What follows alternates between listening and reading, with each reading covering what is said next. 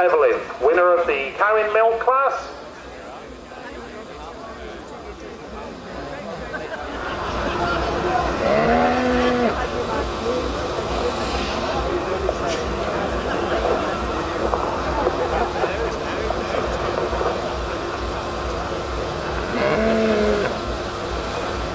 In the Holstein section, we now have class 22, and this is cow in milk, having had four or more calvings. Class 22, Holstein cow in milk, having had four or more calvings.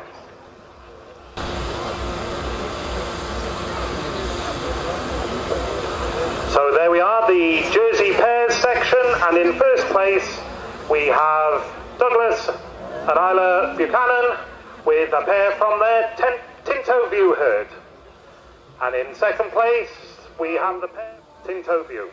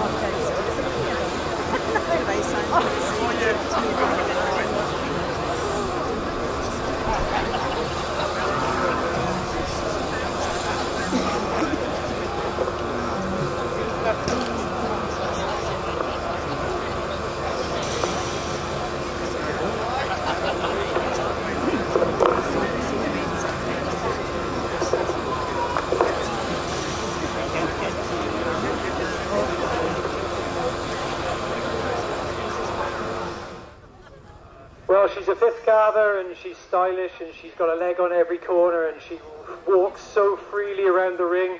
She's got milk veins right up to the top of her front legs and uh, she's a real dairy cow with a great udder. And for that extra width and height at the top of the rear udder, I gave her advantage over this cow I admired a lot. A cow with a little more frame today, but she's had seven calves, and I just felt the first cow was just more youthful today, walking around the ring and just paraded a little freer on those rear legs, but take nothing away from either of them.